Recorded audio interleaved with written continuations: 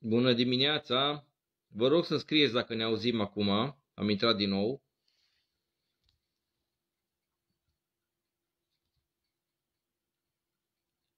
Să scrieți, vă rog, un mesaj dacă se aude.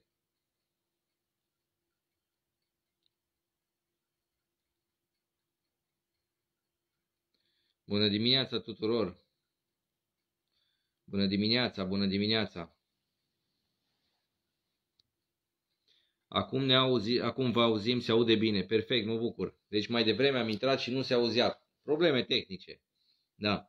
E prea complicată tehnologia asta din ziua de astăzi cu telefoane, cu atâta tehnologie de...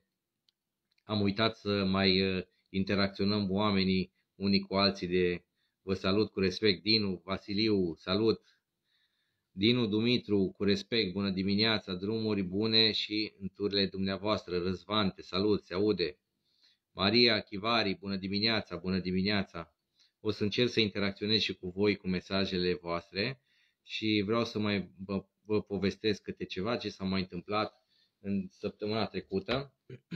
nu am mai intrat de ceva vreme pe această platformă în direct să interacționez cu voi pentru care am uh, hotărât să fac un live uh, alături de voi și o să încerc să vă răspund și la mesaje dacă sunt uh, mesaje interesante la care pot să vă răspund și știu să vă răspund, bineînțeles. Da. Săptămâna trecută, cei care ați tranzitat autostrada, știți că s-au creat niște coloane kilometrice la coborârea de pe autostradă. Am prezentat și un clip video de acolo, de la fața locului.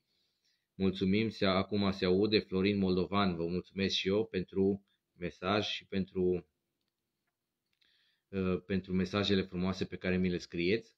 Da, deci cei care ați tranzitat autostrada săptămâna trecută știți că au fost niște cozi interminabile acolo la coborâre la marginea. Da? Deci, uh, cum să zic, uh, aceste lucruri se repetă și nu este bine pentru că anul trecut a fost la fel în luna august, dacă vă amintiți, când uh, tot, uh, toți din diaspora veneau acasă în concediu, uh, sau cei de la drumuri s-au apucat de lucrări pe Coșava.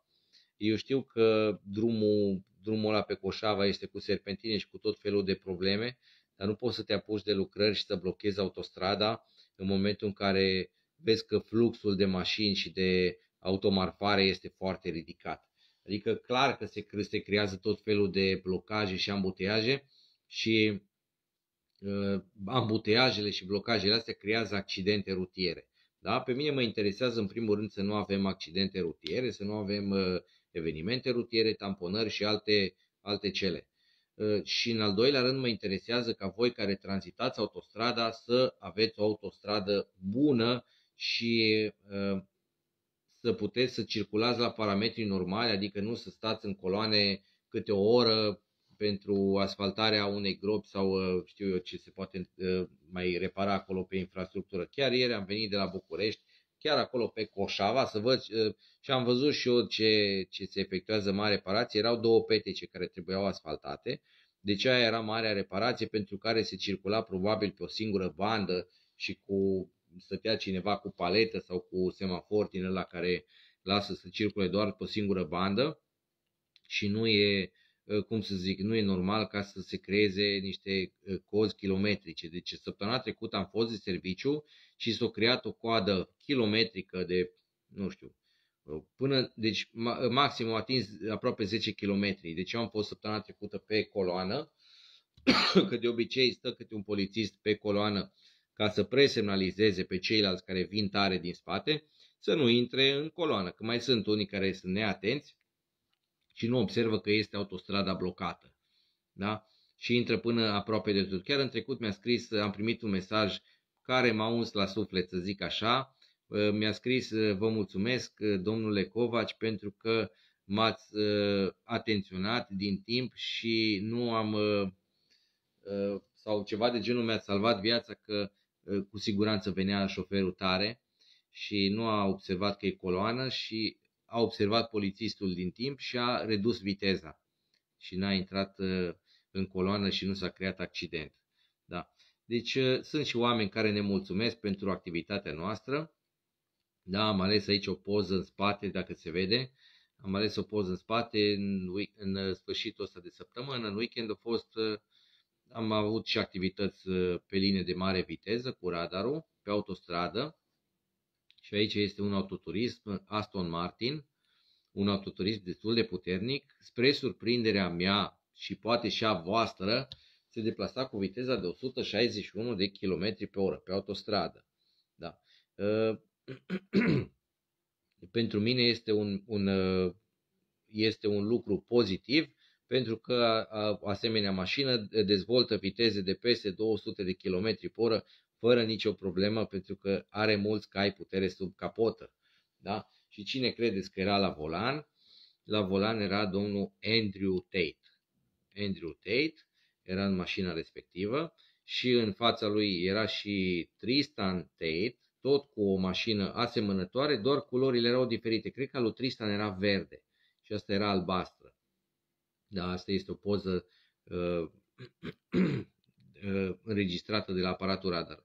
Uh, Tristan Tate avea viteză ceva mai mică pentru care nu a fost înregistrat pe aparatul radar, doar Andrew a fost înregistrat pe aparatul radar cu viteză de 161 de km pe oră.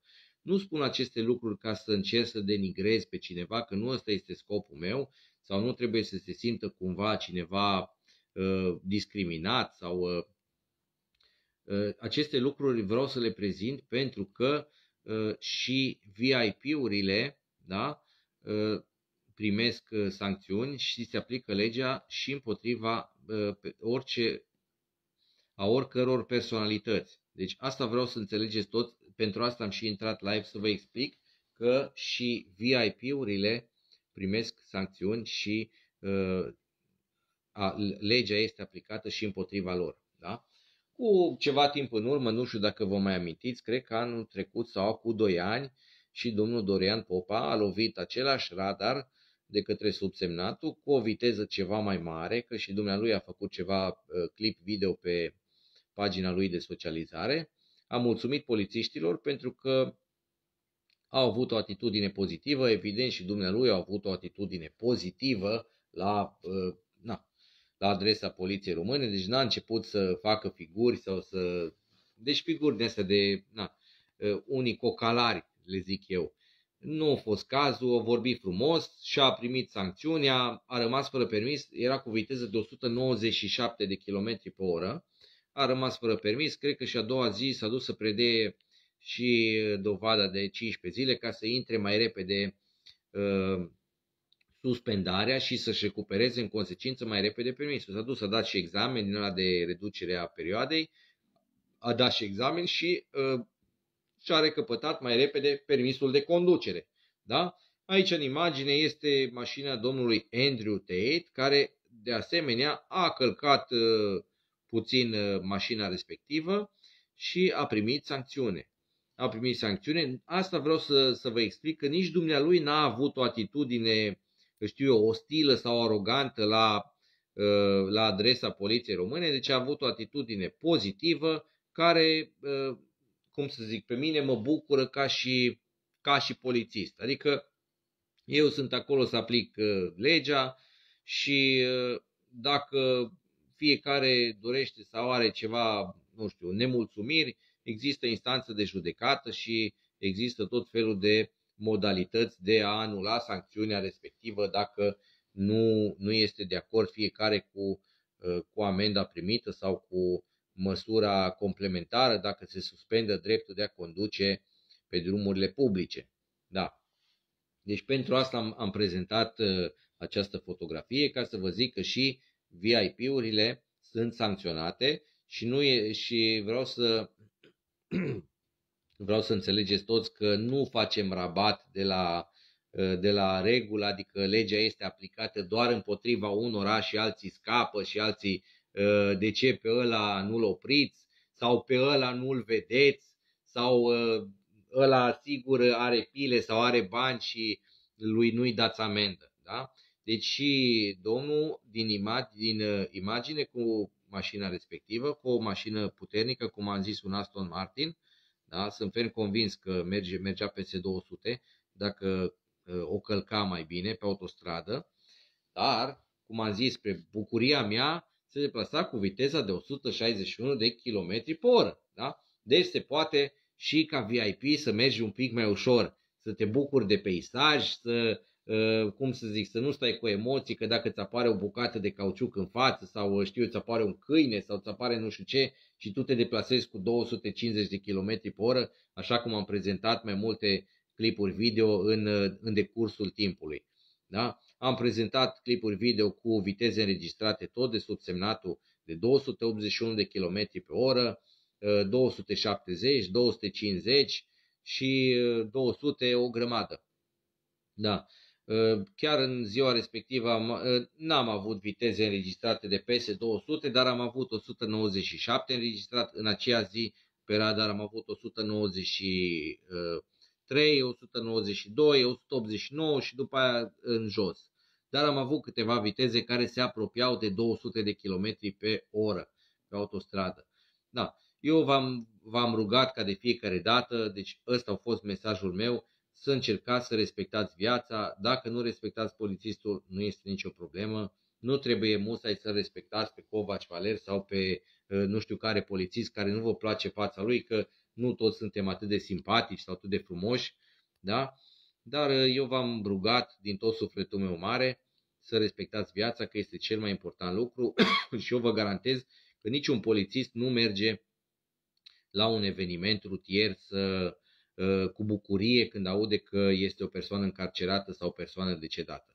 Da? Deci aia este o misiune grea pentru un polițist, pentru cei de la ambulanță, pentru cei de la pompieri, deci sunt niște misiuni destul de grele pentru noi. Da.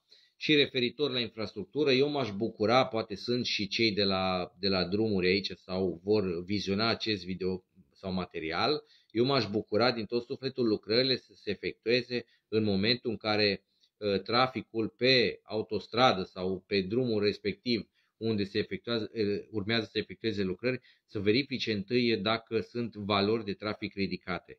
Și dacă sunt valori de trafic ridicate, să lucreze, se poate lucra și noaptea, nu e nicio problemă. Noaptea este un flux de mașini foarte redus, se poate uh, lucra Bineînțeles că trebuie să fie plătiți cu spor de noapte, dar ă, pentru ce plătim taxe și impozite, mi s-ar părea firesc și normal și drumarii să primească spor de noapte, să lucreze pe timpul nopții și să nu se creeze blocaje.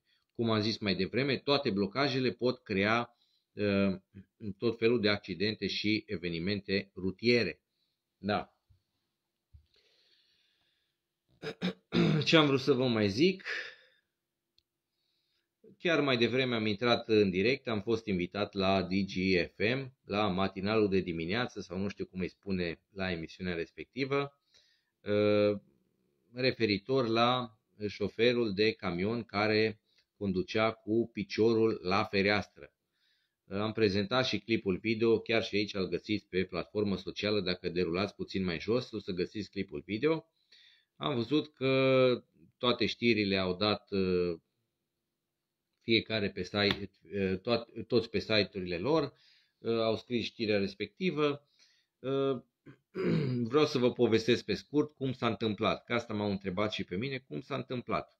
Ei bine, mă deplasam pe autostradă într-o după-amiază însorită cu motocicleta și am trecut pe banda numărul 2 în depășirea unui camion, am uitat către șofer, șoferul era cu piciorul la fereastră, cu piciorul acolo sus pe geam. Da? Nu făcea pedicura sau nu, na, nu făcea alte activități, dar era cu piciorul la fereastră. M-am gândit că poate este amorțit. I-am dat un claxon în speranța că își va pune piciorul jos. Că asta era ideea și asta era mesajul de transmis. Bineînțeles că nu a pus piciorul jos, s-a uitat la mine, eu m-am uitat la el, am trecut mai departe, m-am uitat în oglinda retrovizoare, am văzut că stă la fel, l-am lăsat să, depăș- să treacă în fața mea, după care am trecut din nou în fața lui. Când am trecut în paralel cu el, era la fel, cu piciorul la fereastră. Se uita la mine, eu mă uitam la el și am hotărât să-l scot în prima parcare. L-am scos în prima parcare, l-am escortat cu girofarul până la prima parcare și am încercat să stau de vorbă cu el, să, să, na, să văd care e problema. M-am gândit că poate, poate a amorțit sau... Mă scuzați. Da, m-am gândit că poate este amorțit și l-am întrebat dacă este amorțit. Mi-a zis că nu, că nu este amorțit. Păi și atunci de ce, de ce stă cu piciorul la fereastră? N-a știut să-mi, să-mi răspundă de ce era cu, cu piciorul la fereastră. Dar zic că eu sunt ferm convins, era un șofer destul de tânăr, eu sunt ferm convins că la școala de șoferi nu te-a învățat să stai cu piciorul la fereastră sau să stai cu ambele picioare deasupra volanului. Pentru asta sunt pedalele la la camion, mulți m-au contrazis că au zis că este cutie automată și nu are nevoie de piciorul stâng și piciorul stâng poate să-l țină pe nu știu unde. Le-am explicat că uh, orice altă activitate care îți poate distrage, uh, cum să zic, atenția de la condus da? și care uh, poate, te poate pune în pericol, adică dacă faci o explozie, Doamne ferește, la o anvelopă din partea din fața camionului și tu ești cu 25 de tone sau mai bine de 25 de tone, evident că se poate întâmpla o tragedie dacă tu ești cu picioarele pe sus, nu știu pe unde. Deci pentru asta trebuie să avem o poziție uh, confortabilă la volan cu picioarele la pedale. Deci nu picioarele după cap să facem yoga, nu să ne facem pedicura, nu să ne facem uh, uh, masaj la degețele. Da? Pentru aia este podul pedalier, da? acolo se țin picioarele când conduce. Mulți m-au întrebat dacă poate să conducă desculț sau poate să conducă nu știu cum. Nu este reglementat să, să nu conduci desculț sau să conduci încălțat sau mai știu eu ci cu ce să conduci. Da? În alte țări primești amendă dacă ești desculț, de exemplu. Da? Mi-au scris că în Germania primești amendă nu știu cât dacă ești prins desculț la volan. În România nu primești amendă dacă ești găsit desculț, dar poți primi amendă dacă ești găsit cu picioarele pe sus sau știu eu, pe, ă, să spui piciorul după cap, să faci gimnastică în timp ce conduci sau yoga. Da. Deci asta am vrut să transmit, ă, să vă transmit tuturor, să nu conduceți cu picioarele pe afară sau știu eu, vine căldura Ă, și poate nu vă merge clima, să vă scoateți piciorul pe geam că v-a transpirat și să vă aerisiți. Nu se face chestia asta, mai ales pe autostradă, pe șosea de mare viteză, unde știți foarte bine, sunt șoferi care nu conduc cu așa, conduc cu plus 200 km pe oră, deci viteze de rachetă și eu m-aș bucura să nu fie evenimente rutiere. Da, Haideți să ne uităm puțin prin mesaje, poate vedem ceva mesaje. Bună dimineața, domnul Covaș, mult respect, Vasile Aluaș. Orlando, când văd oameni deosebiți precum dumneavoastră, nu pot decât să regret faptul că am plecat din țară, vă doresc tot binele din lume, din Italia. Orlando, puteți să vă întoarceți liniștit în România. Eu sper din tot sufletul România să meargă într-o direcție pozitivă, să vă puteți întoarce acasă, salariile să fie exact ca și în Italia, că sunt ferm convins că nu v-ați ați plecat în Italia pentru că este o țară mai frumoasă ca România. România este o țară perfectă, de asta le transmit tuturor. Puteți să vă întoarceți acasă, să facem o Românie și mai frumoasă. Felicitări, Doamne ajută, Ecaterina Boc, Mirela Borca, Respect Covaci Valer, Constantin Talpoș, corect, Respect, vă salut cu respect, domnul Valer Ghiță. Octaviana, bună dimineața. Ghiță, Nedu, bună dimineața. Iura Grigol, sunteți un om cu suflet bun, mult respect, mult respect și dumneavoastră. Vă mulțumesc frumos pentru mesajele frumoase. Eu m-am întors după 15 ani și nu regret. Ioni, Ioni, da. Sunt oameni care s-au întors în țară, și sunt uh, oameni care sunt uh, bucuroși că s-au întors în țară și eu m-aș bucura tot să vă puteți întoarce acasă. Din păcate, salariile nu sunt ca și afară, ceea ce mulți uh, nu vor să se întoarcă de la un salar mare să vină pe un salar mai mic. Eu m-aș bucura clasa politică să ne ajute să se, salariile să ajungă așa cum este în toată Uniunea Europeană, și nivelul de trai să crească, pentru că avem o țară bogată, știți foarte bine, știți foarte bine și m-aș bucura să ă, țara noastră să renască. Da. Bună dimineața, domnul Covaci Valer, Maria Mândruț, vă doresc multă sănătate și mult respect. Cașa și Robert, multă sănătate, domnul Covaci. Încerpăzitor, bună dimineața, respect maxim, domnul Valer și eu vă mulțumesc pentru cuvintele frumoase adresate și uh, vă doresc tuturor să uh, respectați viața și cei care urmăriți mai târziu acest video, vreau să înțelegeți toți că VIP-urile nu sunt uh, scutite de, n-au vreo scutire la aplicarea legii. Deci în acest caz, cum am zis mai devreme, legea a fost aplicată corect, evident și șoferul a avut o atitudine pozitivă, deci nu a fost uh, caz să degenereze în alte cele sau în jigniri sau uh, să trebuiască să, uh, să folosim forță sau alte, alte cele, că nu, nu a fost cazul și cum am zis, m-am bucurat că și uh, personalitățile astea, VIP-urile, au o atitudine pozitivă în momentul în care se intersectează cu un polițist. Da. Cam atât am vrut să vă transmit, nu vreau să vă plictisesc prea mult. Bună dimineața, polițistul nostru de suflet, vă rog să fiți aspru cu cei care încalcă regulile de circulație, le salvați viața. Paula Abdu. Uh, eu sunt uh, polițistul care am încercat să aplic și avertismente și am încercat să aplic și amenzi acolo unde uh, s-au pus în pericol vieți omenești. Nu am fost adeptul de a amenda excesiv populația doar de dragul de a dea amenzi ca să fiu eu apreciat sau știu eu de superiori, dar uh, am încercat să, să transmit mesajele uh, uh, pentru toți șoferii, inclusiv pentru cei tineri, să respecte viața. Cam atât am vrut să vă transmit. Mariana, Mariana, felicitări dumneavoastră, nu vine să cred că există așa polițiști, Doamne ajută în tot ceea ce faceți. Vă mulțumesc frumos pentru mesajele frumoase. Mureșan Adrian Florian, tot respectul domnul Valer. Nicolae Cârciumaru, Doamne ajută. Vă mulțumesc tuturor, știu că nu este o oră potrivită pentru live, dar poate alții vor urmări mai târziu acest live și vor înțelege că legea a fost aplicată corect în toate cazurile. Da? Vă mulțumesc și vă doresc o după amiază liniștită și cei care sunteți plecați, poate într-o bună zi vă veți putea întoarce acasă, să avem o Românie mare și frumoasă. Ca de fiecare dată vă spun Dumnezeu să binecuvânteze România. Vă mulțumesc tuturor!